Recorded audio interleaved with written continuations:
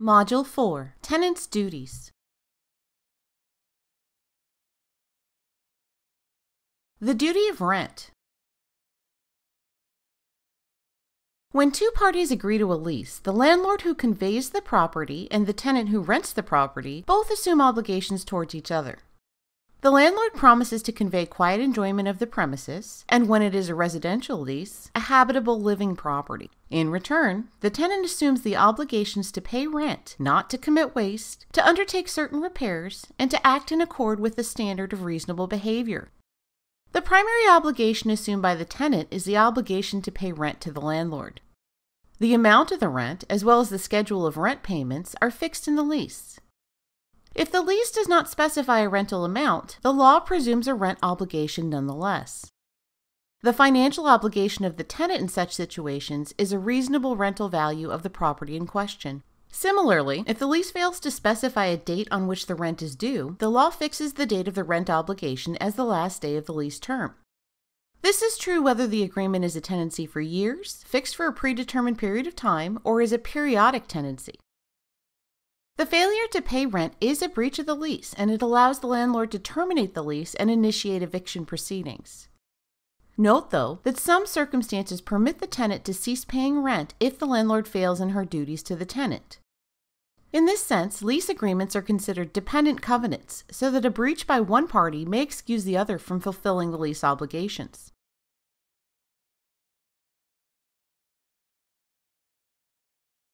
Waste and repair.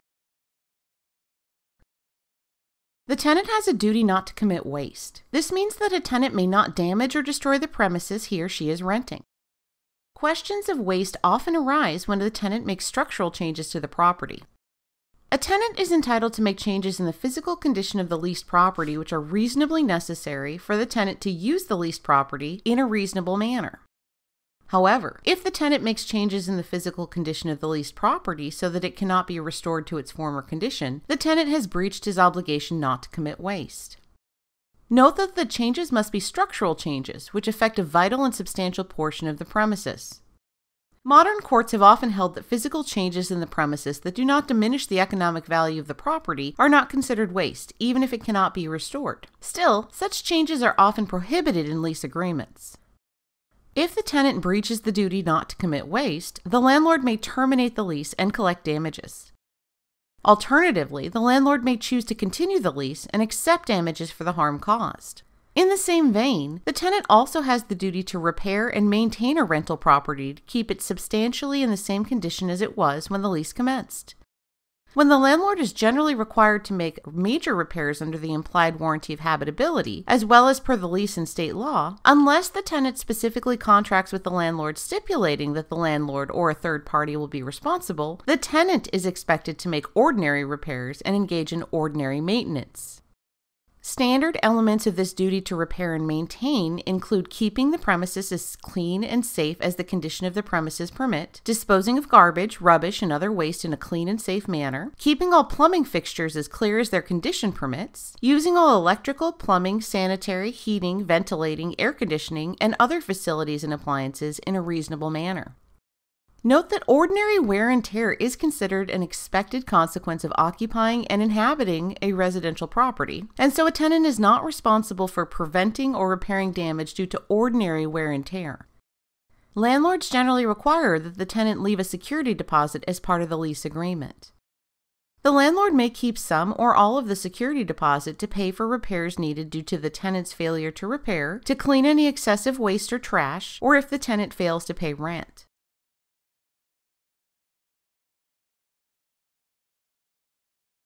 Duty of reasonable behavior. Tenants generally may use and occupy rental property as they wish. However, certain forms of behavior are prohibited for a tenant even within the confines of the leased premises and are considered breaches of the lease agreement. Tenants may not commit or permit a nuisance on the property. A nuisance is any conduct that interferes substantially with the comfort or safety of other tenants or occupants of the same or adjacent buildings or structures. Most residential leases specify that certain conduct by the tenant will be prohibited over the course of the tenancy. Common examples of such prohibitions are excessive noise due to music or partying, foul odors due to pets or smoking, excessive waste or trash, and the harassment of others. Tenants are also prohibited from using the leased property to carry out illegal behavior. This also includes third parties whom the tenant knowingly allows to conduct illegal acts in the rented property. However, if the landlord participates in the illegal conduct or fails to take remedial action against the tenant upon learning of the illegal conduct, the landlord may forfeit her remedy for the tenant's breach of lease.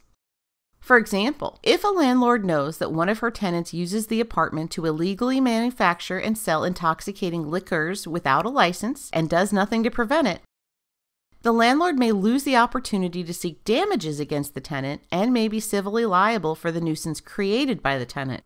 Note, however, that isolated instances of illegal acts may not be sufficient to be considered a violation of the lease. The rationale for considering illegal behavior to be a breach is to prevent rental properties from being used for illegal purposes. As such, only conduct which takes place regularly over a period of time will be deemed a violation of a tenant's duties.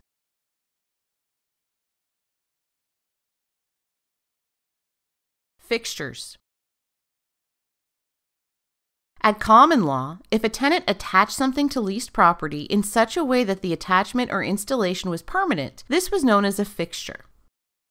Fixtures, such as new structures or improvements on plot of lands, were deemed to be permanent enhancements of the property. As such, the landlord would assume ownership of the fixtures at the end of the lease. Today, the law has narrowed the concept of fixtures of which the landlord assumes ownership. Generally, if the tenant did not intend for the attachment to be permanent and can remove the attachment without causing substantial damage, the tenant may remove the attachment. For example, if a tenant leases office space and installs air conditioning units, such units are probably not deemed permanent fixtures and may be removed by the tenant at the end of the lease. It is clear that the tenant attached the units for his personal use and could remove them in a timely manner and restore the property to the condition it was at the outset of the lease. If instead of units, the tenant installed a central unit with comprehensive ductwork that would require breaking the walls to remove it, that would be much more likely to be considered a fixture. If the tenant installed a chain link fence around the property, such an attachment may be deemed a permanent enhancement of the property and hence an unremovable fixture. Still, under current law, the determining factor in most cases will be whether the attachment can be removed by the end of the lease, consistent with restoring property to its original condition. So, even something as seemingly permanent as a fence may not be considered a fixture if it can be removed without damaging the land. Note that rules regarding fixtures and permissible removals may be agreed in advance between landlord and tenant, and such agreement would take precedence over general landlord tenant legal principles.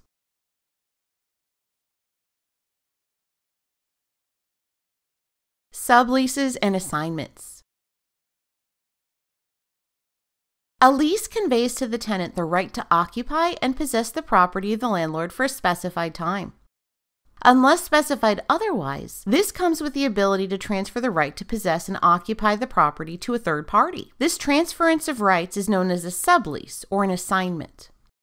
The historical distinction was that if the tenant transfers the property to a third party for the entire remainder of his own lease term, then the arrangement is considered an assignment. If the transfer is only for a portion of the lease, after which the tenant will resume occupancy, then a sublease has been created. The modern trend, however, is to look at the intent of the parties. If the tenant seemed to make an agreement with the intention of retaining an interest in the property, such as by reserving a right of entry or a date at which point the property reverts to him, this will likely be deemed a sublease.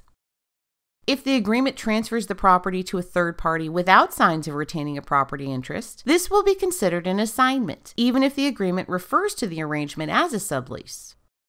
Note that the terms of the rental, including all the agreed upon obligations and terms, remain the same during the period that the third party occupies and possesses the property. The third party has the same obligation to pay rent, not to commit waste, not to permit nuisances, and all the other duties that the original tenant had assumed. The general rule is that a tenant may sublease or assign property to a third party unless there is a clause in the lease which requires a landlord's consent for a third party to take possession. Even when such a prohibition clause exists, though, a growing trend mandates that a landlord must have a reasonable reason to reject the assignment or a sublease. Courts determining whether a withholding of consent is proper will ask whether the landlord looked to reasonable factors, such as the financial state of the new tenant or her suitability to take possession of the property, as the basis for the denial of consent.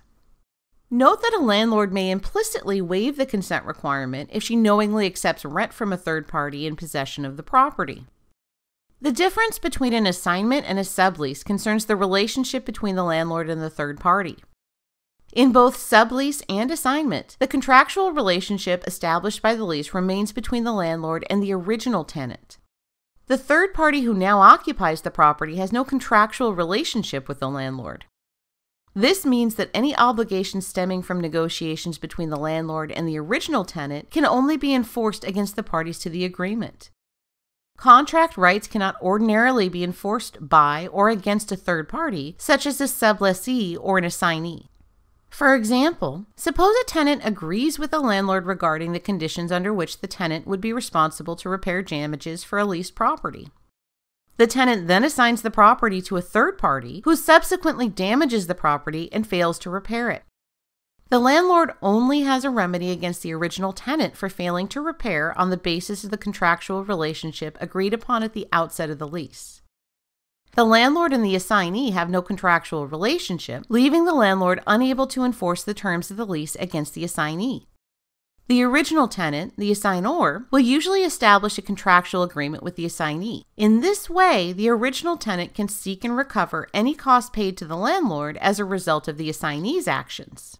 However, in an assignment, the transference of the property does create a different legal relationship between the landlord and the new possessor of the property, in this case, the third party assignee. This relationship is known as privity of estate, and it exists when two parties have consecutive interests in the same property.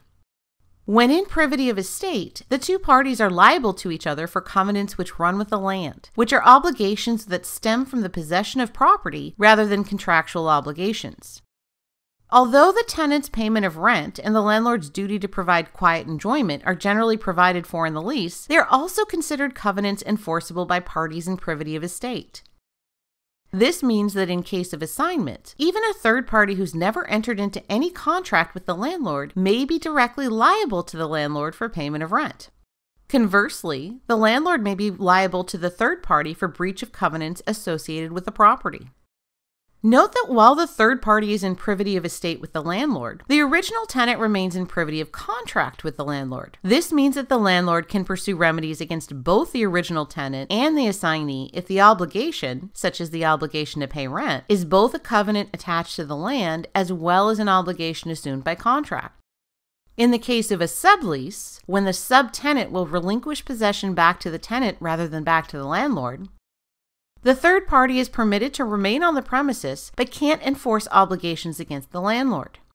Under such circumstances, the landlord and the original tenant retain both privity of estate and privity of contract. The landlord may only seek remedies for breach against the original tenant, and only the original tenant may enforce the covenants against the landlord. In our last module, we'll turn to the rights and remedies of a landlord when the tenant breaches its duties.